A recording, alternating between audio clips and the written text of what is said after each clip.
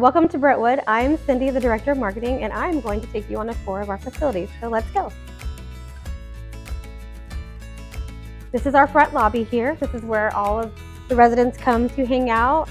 They can watch TV. They can visit with our receptionist over here. If they have any questions over here, they can talk to us. Our apartments start right away when you come into the building. So these are some small one bedrooms that we have.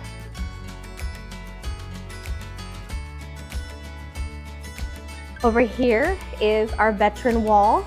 We honor all of our past and our present veterans. So if you are a vet and you live in our facility, you will be honored on our wall.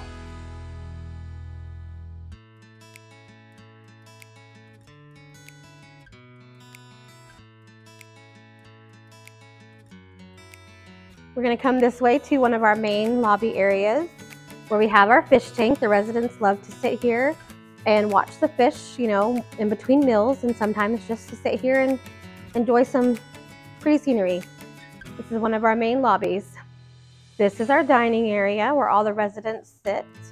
They um, all have assigned seating, so they sit at the same place for breakfast, lunch, and dinner.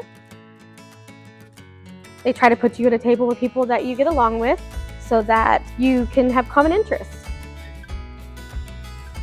This is where you have your meals.